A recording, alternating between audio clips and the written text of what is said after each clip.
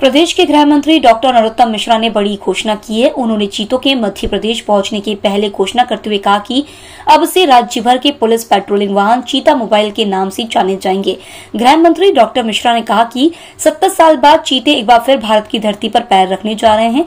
चीतों के आने की पूरे देश में खुशी है, लेकिन प्रदेश के लोगों के साथ यह खुशी के साथ ही गर्व का भी विषय है, क्योंकि यह चीते प्रदेश के कोनों में रहेंगे। उन्होंने कहा कि प्रदेश पुलिस भी चीतों का स्वागत अनूठे तरीके से करेगी। गृह मंत्री ने दो पहिया पुलिस पेट्रोलियम वाहनों को चीता मोबाइल नामकरण करने की घोषणा करते हुए कहा कि कल जब प्रधानमंत्री नरेंद्र मोदी कुनू में चीतों को अभ्यारण्य में छोड़ेंगे, उस समय प्रदेश भर के यह पेट्रोलिंग वाहन सायरन बजाते हुए पेट्रोलिंग करेंगे।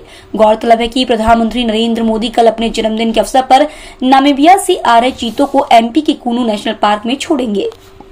हमारी पुलिस के अंदर जो टू व्हीलर के पेट्रोलिंग वाहन हैं जो गश्त करते हैं, वो एक रूपता लाते हुए अब ये सभी टू व्हीलर वाहन अब चीता मोबाइल के नाम से जाने जाएँगे और पेट्रोलिंग पूरे प्रदेश में चीता मोबाइल करेंगे। कल जब प्रधानमंत्री जी वहाँ चीते छोड़ेंगे, उस समय एक बार ये शायरन बजा के अपने गश्त का प्रारंभ कल से एक रूपता पहले से भी चीता मोबाइल कुछ जगहों पर था अलग अलग नाम से था।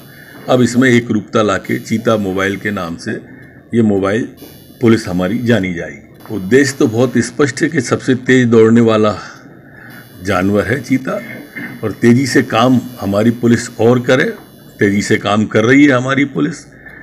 ये गति के रूप में भी जाना जाता है, हमारी गति भी तेज हो ये सारे संकेत इस चीते में निहित होंगे।